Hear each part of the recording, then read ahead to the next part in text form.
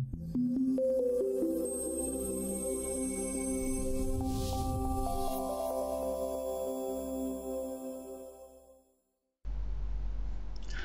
Hello, I'm Nis Tilson and in this video I'd like to show you how to use our Quick Design manufacturing methods. The cabinet on my screen is made using the default Quick Design methods. The cabinet is built using Quick Design panels and if we look in our 3D X-ray view we can see that it has no assembly details and no hardware attached to it. Now this is fine if I need to tweak my design and have a quick price of my project. However, to manufacture this cabinet I'll need to add the assembly details and hardware. To add the assembly details, I can just use a standard manufacturing method. To do this, I will go to Libraries, Manufacturing Methods, and choose a standard manufacturing method which is listed in the upper half of my list. In the lower half of my list we have the draw methods. Let's choose a standard manufacturing method that will apply minifix and dowels to our project when I click OK and I apply the method to the whole cabinet and click OK, Quick Design will add all the different hardware necessary to manufacture this project. I can see that Quick Design has added all the details to make this cabinet. However, the drawers are standard made to measure drawers with standard Quick Design roller sliders but supposing I want to put prefabricated Legrabox drawer sliders into this cabinet. If I go back to the libraries and manufacturing methods, I can select a Legrabox drawer slider from the drawers methods list and I apply this to my whole project. We can see that effectively the drawers have been redesigned to receive the Legrabox sliders. However, the method has also erased all the other hardware from my project.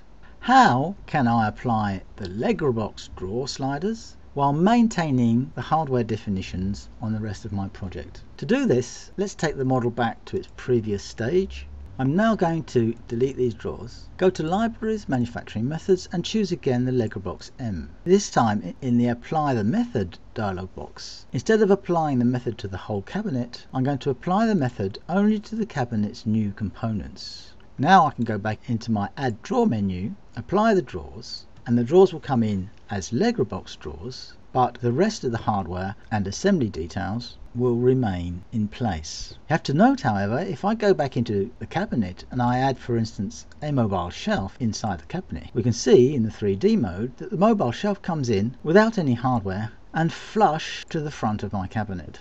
So it is actually using only the default manufacturing methods. If I want this mobile shelf to come in with a specific minifix dowel manufacturing method, I have to erase it, go to the libraries, submethods, reactivate the minifix dowel methods, click OK. In the apply the method dialog box, again apply the method only to the cabinet's new components and now place my shelf and this time we can see that the shelf will come in with the shelf pegs hardware and the setback from the facade which was defined in the actual minifix dowel manufacturing methods.